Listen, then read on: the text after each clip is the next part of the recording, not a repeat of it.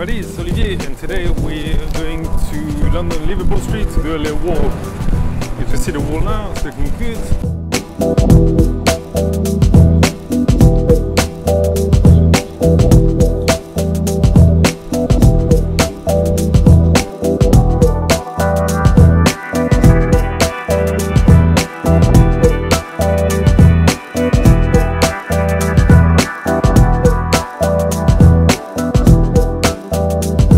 Thank